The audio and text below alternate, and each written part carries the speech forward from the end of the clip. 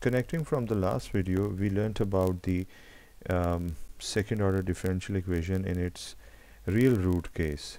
And those real root case were, were the repeated real root cases. So here we will talk about the complex root case which is the final possibility. And in this we will again come up with the same formula based on the characteristic equation and this will give rise to two roots. And in this case they are likely to be complex so this is the first root and this is the second root respectively with a plus and a minus sign. So now we can delve deeper into these and see that what will be the result. We already know that discriminant defines the um, form of the roots. So in this case that is C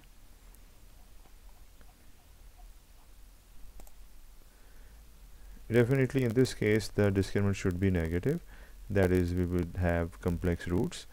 And uh, further we can calculate the roots by using the quadratic formula. R1 and r2 they are there. So this is the formula and when we put the values it looks like this. Here we already know that this will be a negative value so we have taken minus 1 as a common factor.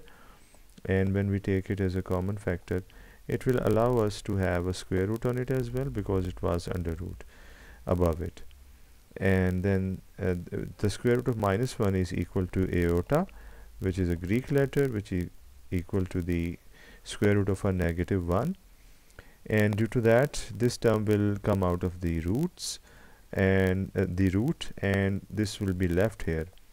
And then iota will be carried as it is. Now we have a plus and a minus sign in between the two.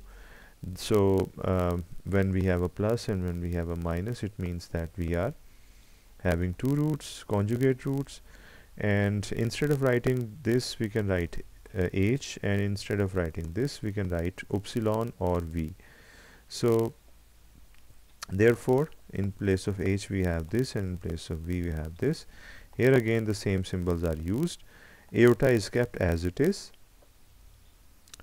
So these are called as conjugate complex roots because these are uh, together because conjugates are basically two opposites written together just like plus minus they are written here.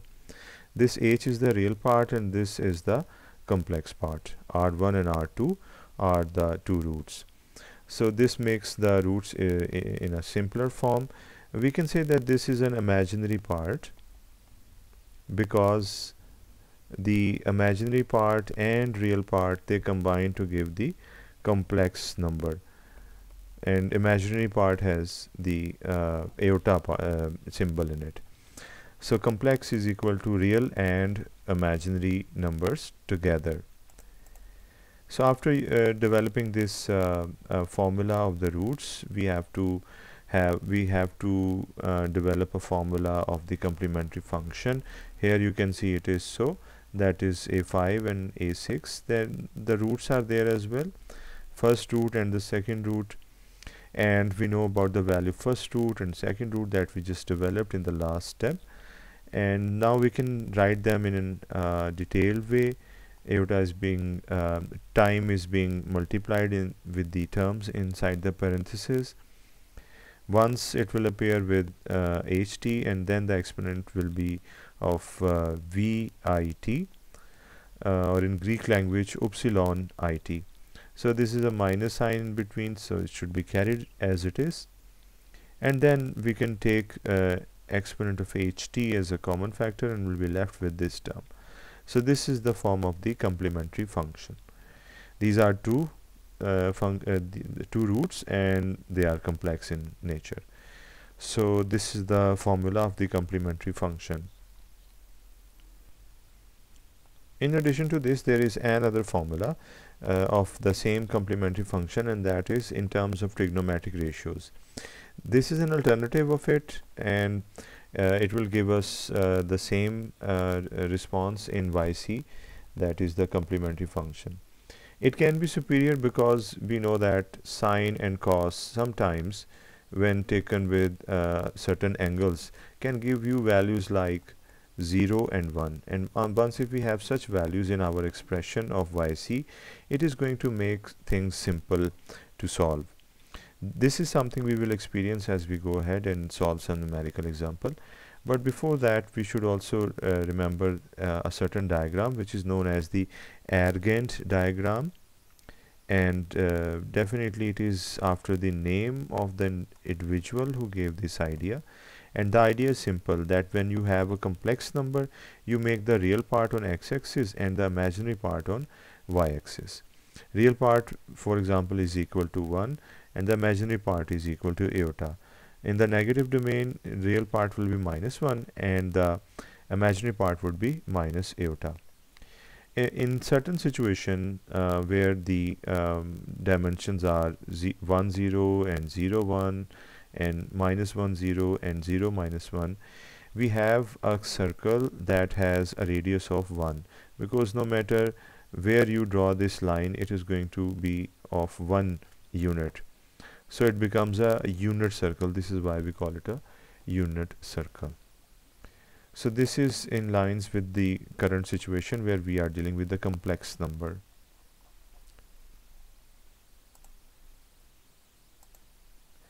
here we can uh, zoom in this uh, diagram on which x-axis uh, and y-axis they have been plotted with imaginary numbers and the x-axis has real numbers.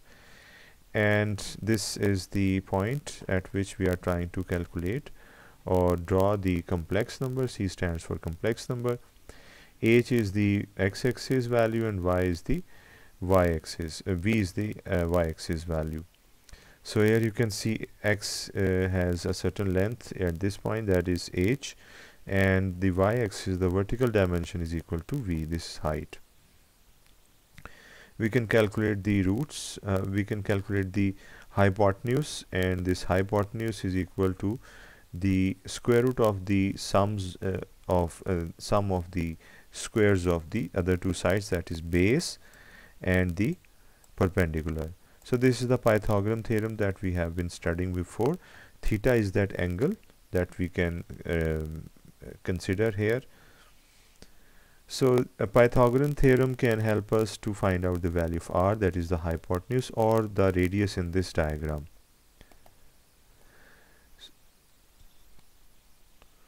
So now let's solve this numerically. We have been given another uh, second order differential equation here with two initial conditions primarily of the uh, actual function and then of the uh, derivative of it that is the second initial condition.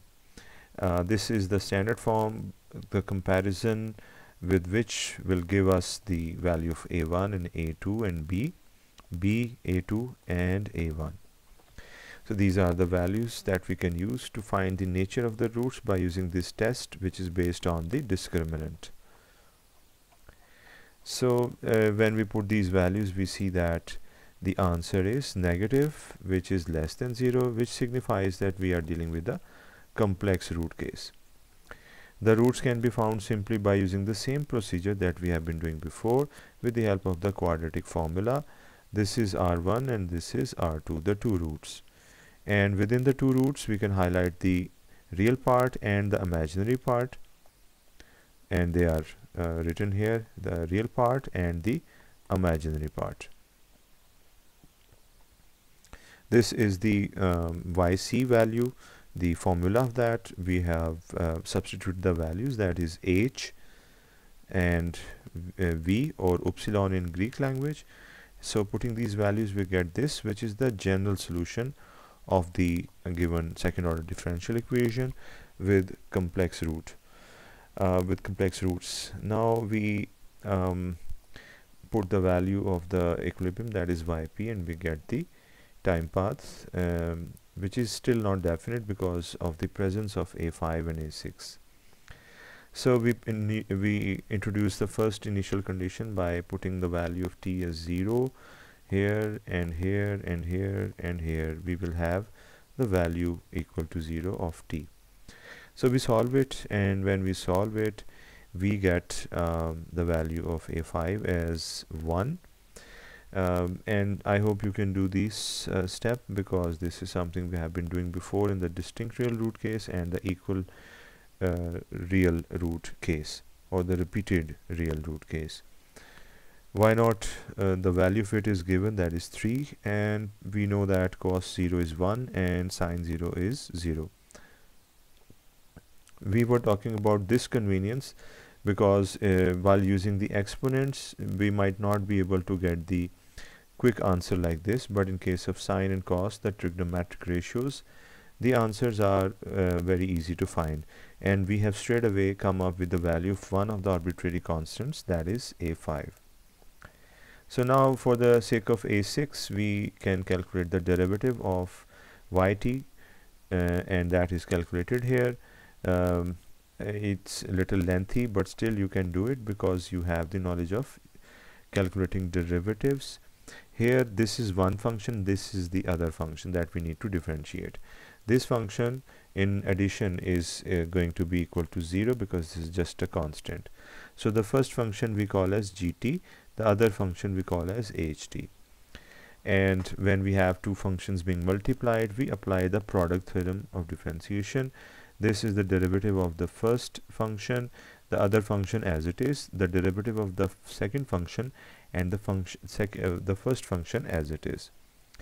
So this is the derivative of first function second as it is derivative of the second function and the first one as it is now the further things are the the uh, matter of solution.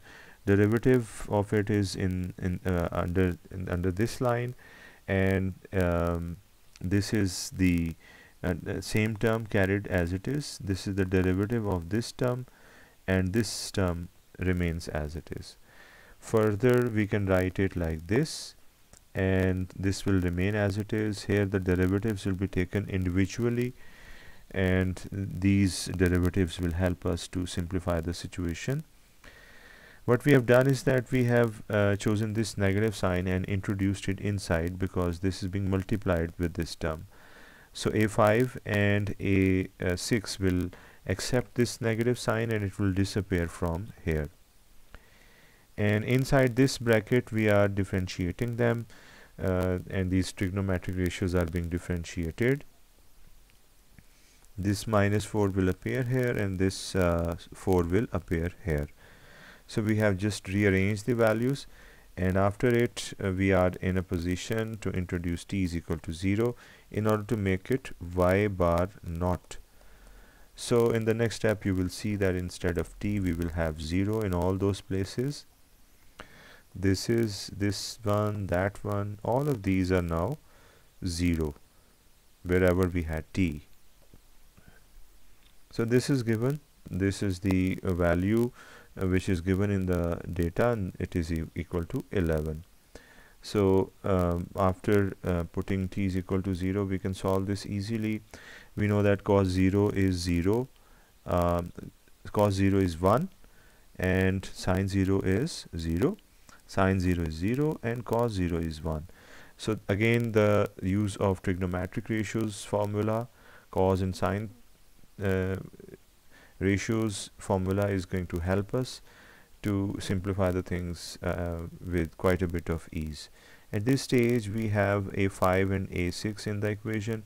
A5 is already found and its value was 1 so we substituted its value and finally we got the value of a6 so now the values of a5 and a6 can be substituted in the general uh, solution and we will get the uh, definite solution. 2 is the particular integral and yc is the uh, other part of the time path and now it doesn't have any a's that is the arbitrary constant. So we have the definite solution of the differential equation this one and this definite solution is equal to this.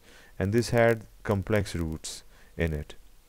So in this way we can solve the uh, second order differential equation with its um, complex root case. And we have completed all three cases that is distinct real root case and repeated real root case. And in this video we did the complex root case. Now we can solve the second order differential equations with any of its possibilities. That is all three of them. Thank you